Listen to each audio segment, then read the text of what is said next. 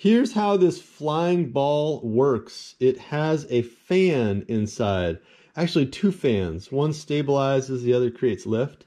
And it has this little gold strip of LEDs. So you power it on with this button, very small button inside, and the LEDs indicate that it's on. The activator for the motor has a little electric motor in there. It is rechargeable. The activator happens when you lift this up. So you give it a little shake up and it will flip on.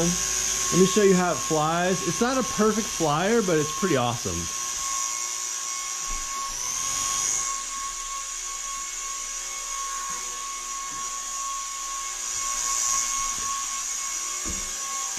Now the flight is a little unpredictable. You never know exactly where it's gonna go, but that's kind of what's fun about it. Kids can chase it around. I mean, it's just kind of wild, but at the same time, it's just a ball. There are no blades protruding.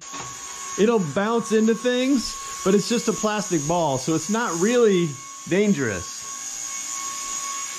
All right, so I showed you how to turn it on. You just sort of shake it upwards it will stay on, like it'll stay on for a long time until it bumps into something. So basically, so if it crashes into something, it will alert that same sensor that turned it on and that'll shut it off. It's got a little bit of unpredictability, but it's also a lot of fun. The USB plug is right in here and it's possible that this thing gets twisted so you can't really reach it. So you might need to reach in there. I'm just using like the end of a wood spoon to plug it in to charge it up. And again, the power button is just this button right here.